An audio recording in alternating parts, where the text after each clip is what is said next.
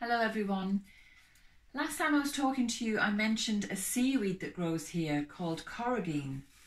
Um, it's also known as Chondrus crispus, that's its Latin name, and it's also known as Irish moss. And it's a seaweed that grows here on the um, west coast of Ireland, but it grows along all the Atlantic seaboards of America and Northern Europe. And it's a fantastic cough remedy. And um, my brother's just come down with a cough, so I'm going to make him a remedy from it and show you how to do it yourself. I'm just going to pop the carrageen into a saucepan. I've got some filtered water. See, that's just a little handful. That'll be enough for one person. So I'm just going to get um, about a pint of water. I'm using filtered waters because um, I want to make sure that it's as pure a product as possible. And I'm just going to pop this on the stove to come to the boil. So while it's boiling away, I'll just tell you a little bit about it. It grows on the um, low tide rocks and it's collected by fishermen and people, or it was for years and years, and it's often sold to um, the cosmetics industry because apart from it being a wonderful cough remedy, it's also a great demulcent, which means it's very moisturizing and soothing. So it's great for skin care. It's very good in products for people with psoriasis or eczema because it's so soothing and soft to the skin. So it's also very soothing for the mucous membranes of the chest. So if you have a very dry hacking cough, it's going to be very soothing. It's also an expectorant, so it's going to help you get up the phlegm and it's also um, got a lot of other medicinal qualities. So, for example, it has vitamin A, it has um, potassium and iron, and it also ha- it's also an antibacterial and antiviral. So, if you have any kind of a viral cough, um, Carrageen is your man to go to. And you can. It used to be used in the past as well for people who were convalescing, and unfortunately, we don't really have a convalescent um, mentality any longer. People don't get nursed at home and they don't convalesce. The idea is take something that will suppress your symptoms and get yourself back to work or school as quickly as possible.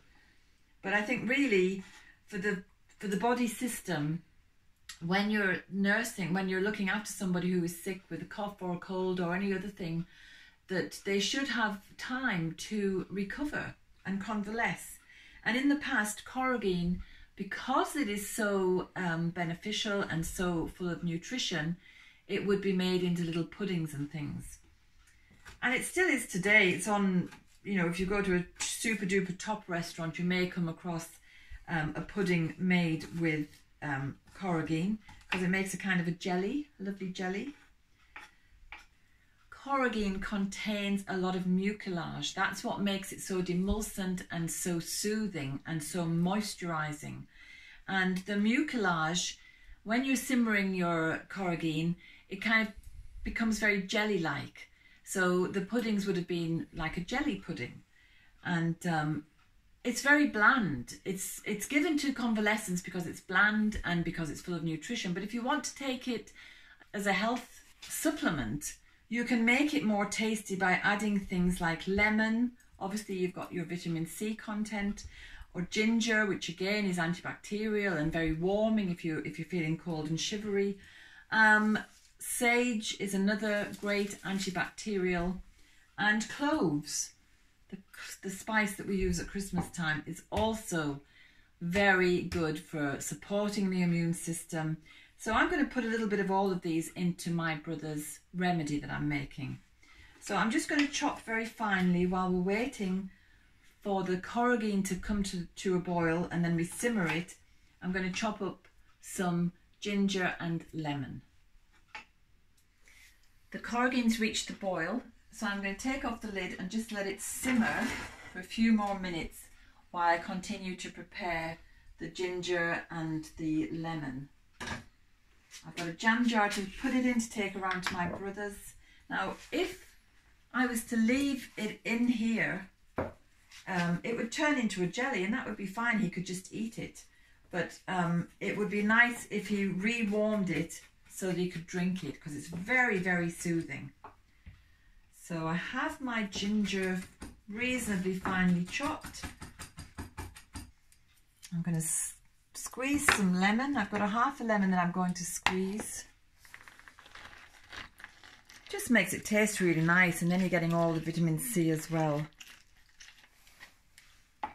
And I think I'll add a few um, little sage leaves because they're such a good herb for throats and chests, but throats especially, and of course, often when you get a cough, you might start with a sore throat.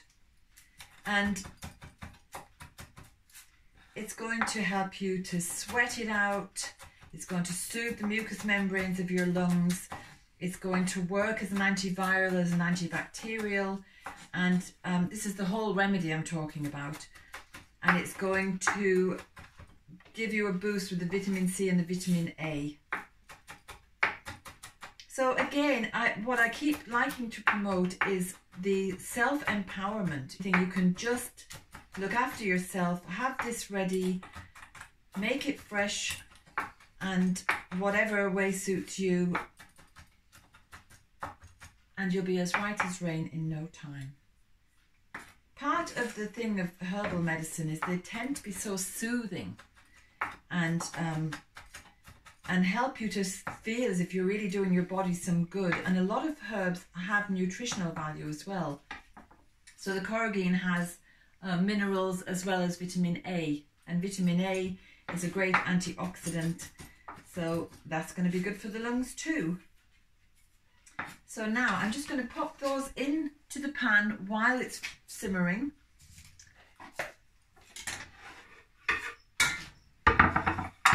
And I'm going to give it a little stir. You see how jelly-like it is now?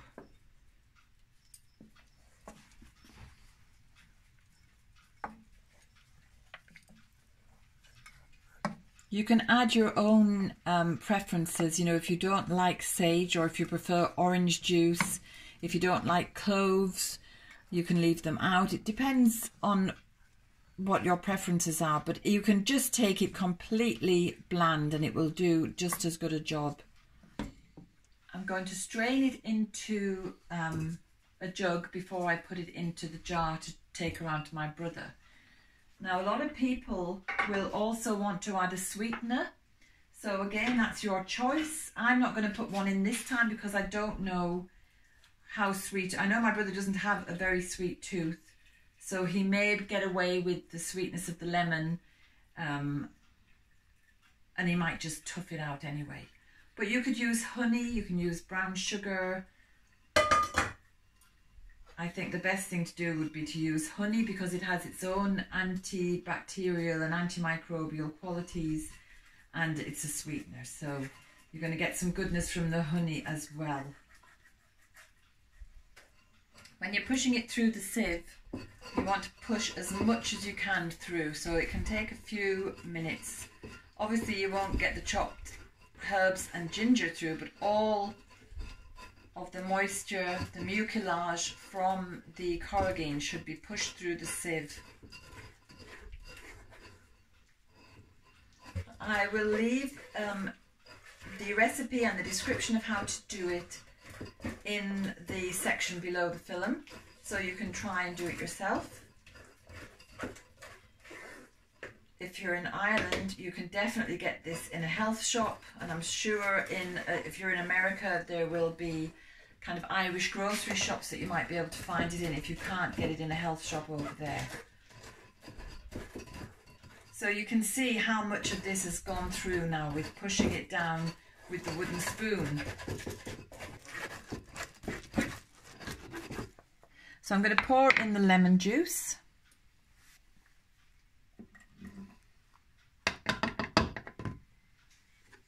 And give it a stir.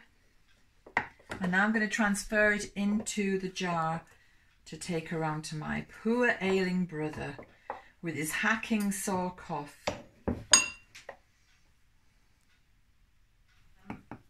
It's another wonderfully um, therapeutic remedy from Mother Nature, and um, hopefully it'll sort my brother out.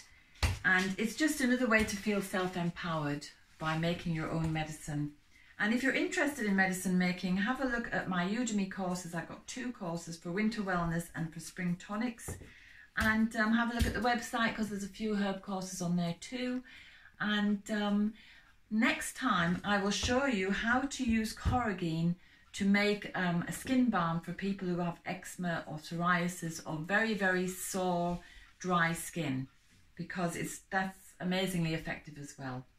So I'm taking this my brother now and then I've got trees to plant because it's a lovely day and I'll see you next time. Bye.